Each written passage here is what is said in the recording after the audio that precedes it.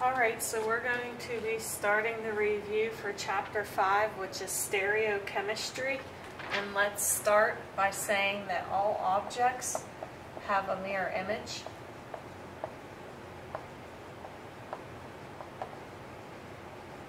And it's basically how this mirror image relates to the original object.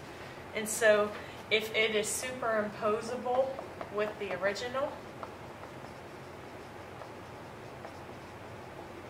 then the original object is achiral. And if it is not superimposable with its mirror image, then the original and its mirror image are both chiral.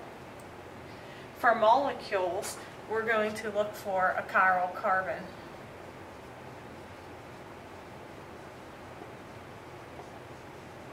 And remember that the chiral carbon, we want to focus on a CH, which is known as a methine, or we want to focus on quaternary carbons.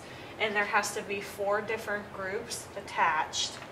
We're only looking at sp3 carbons, so we're not focusing on sp2 or sp.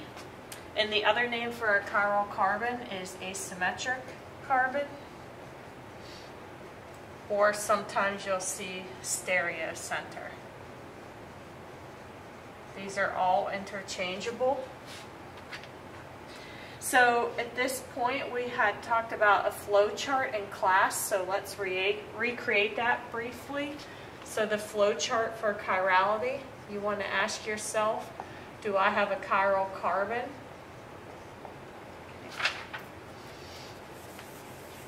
And so if your answer to this is no, then your molecule is achiral. If your answer to this is yes, then your molecule is chiral. If you're on the left side, then you ask how many. If your answer is 1, then your molecule is chiral. So if you have only one chiral carbon, your molecule must be chiral. If there are two or more, then you have to ask yourself another question, which is, do I have a symmetry plane? And this is a plane of symmetry within the molecule. And if your answer is yes, again, your molecule is chiral. If your answer is no, then your molecule is achiral. Sorry. If your answer is yes, your molecule is achiral. And if your answer is no, your molecule is chiral. Okay. And there was a special name for this case known as meso. So meso has two or more stereocenters or chiral carbons, yet the whole molecule is achiral. And one of the tricks in this part is if you looked at a molecule and you were considering this carbon as a possibility to be the chiral carbon, if your symmetry plane cuts through the carbon that you're considering, it's automatically not a stereocenter. So this would not be a stereocenter. This would not be a chiral carbon. And if it was a chiral carbon, we put an asterisk by it and that stands for chiral carbon. At this point, after we learned about chirality, we learned how to assign R and S stereochemistry. So assign R and S. This was known as the Cahn, Ingold, Prelog rules.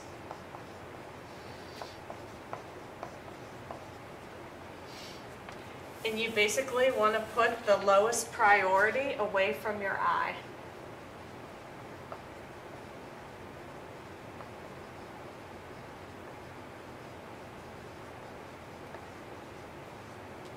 So you assign 1 through 4 based on atomic number, and lowest priority is away from your eye.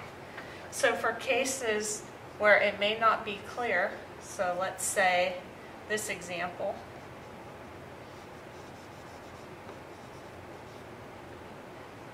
So this is our chiral carbon. We have CH3, bromine, F, and H.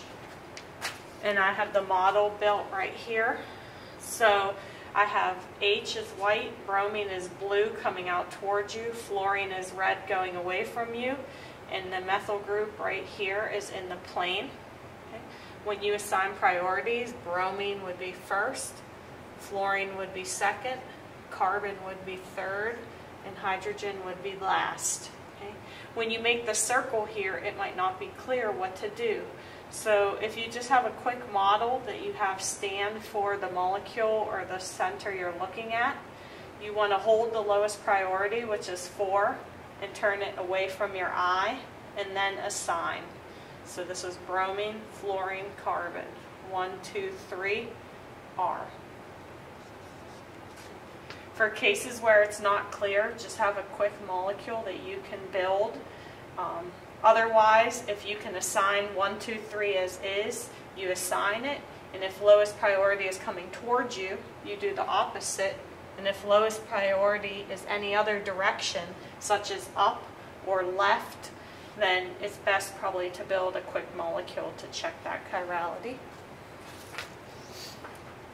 After we talked about R and S, this led into a discussion of specific rotation. and this was known as alpha D.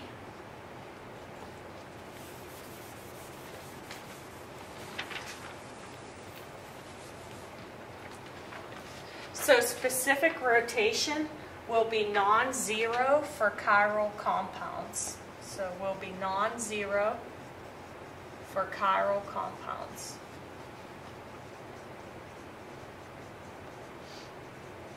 And so we can ask ourselves, when is alpha D zero? There are three cases when this can occur.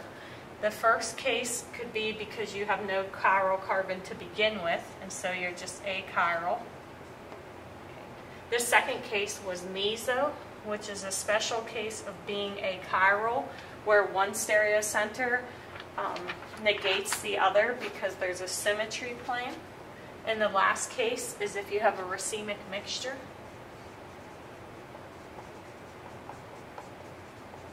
And the racemic mixture meant that you had equal amounts of both enantiomers.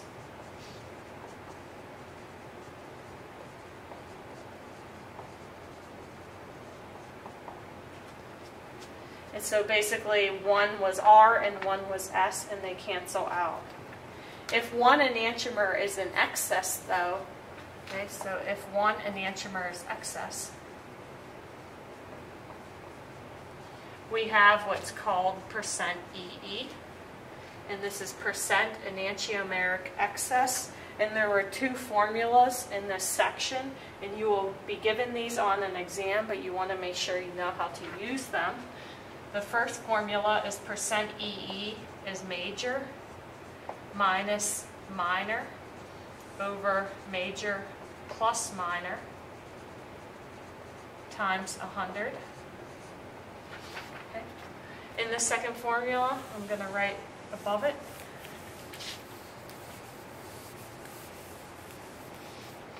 The second formula is percent EE equals the alpha D, or specific rotation of the mixture, over alpha D of the pure times 100.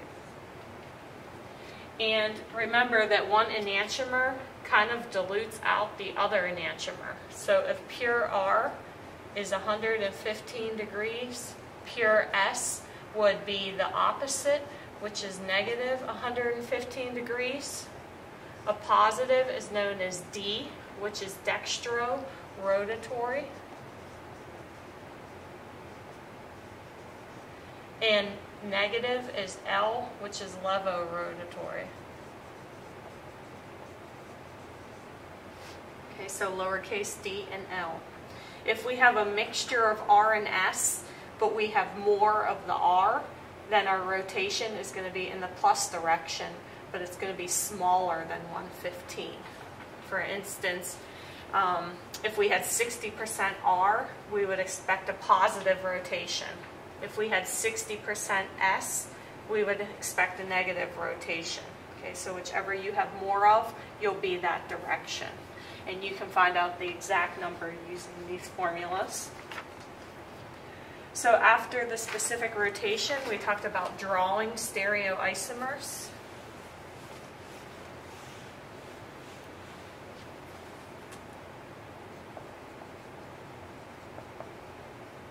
And stereoisomers were isomers that differ in space.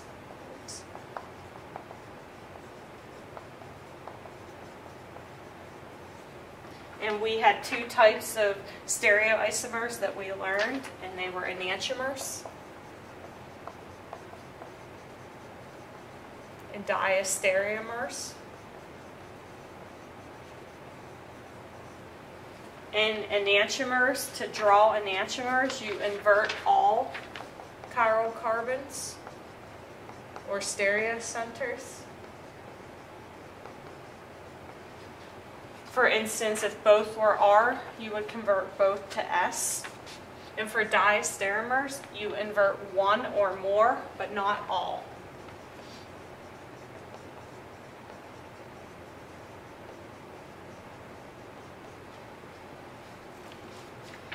We learned also in this section that to know how many stereoisomers to draw, so the total number equals 2 to the n, where N is the number of chiral carbons.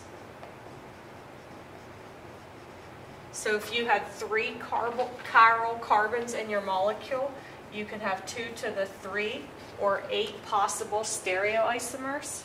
You should be able to draw them and tell whether each are enantiomers or diastereomers in relationship to each other. And remember that if you have meso as a possibility, it's always going to be less than this. So meso will be less than 8, but you don't know the number until you take the time to draw them. Um, and just want to point out here that enantiomers, when you invert all stereocenters, these would be mirror images of each other. But they are not superimposable.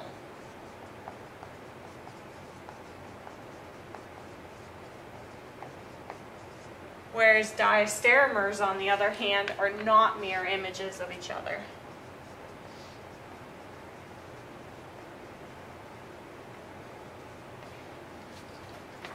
And then the last aspect we learned in chapter 5 was the Fischer projection.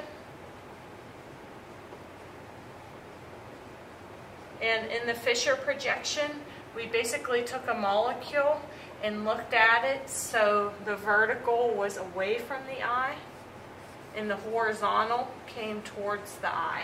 Okay. And our shorthand for that is just to draw this notation where you have to keep in mind that horizontal is coming towards the eye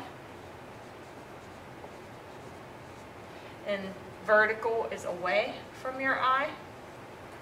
You tend to put the main chain to be vertical and you put the most oxidized carbon at the top. You assign R and S to this notation just like you did before.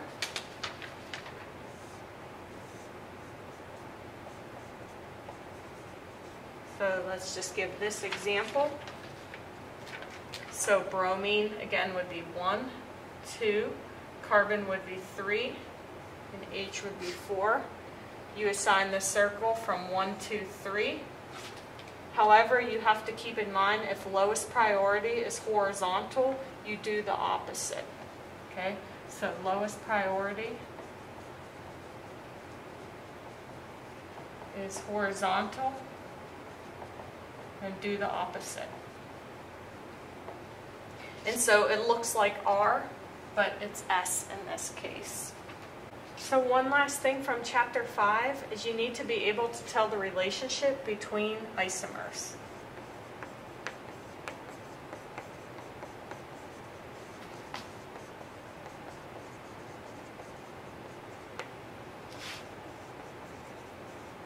Well, I guess instead of isomers, I should say compounds because they may not even be isomers, okay? So be able to tell the relationship between compounds. And your answers to these when two compounds are compared is enantiomers, diastereomers. They're constitutional isomers, meaning they're connected differently. It's the same compound drawn twice, or they're not isomers at all, which means they're not even the same molecular formula. And you need to be able to do this in all different drawing notations. So you could have the Newman projection. You could have the chair conformation. Or you could just have the regular um, bond line drawing. Or you could have Fischer.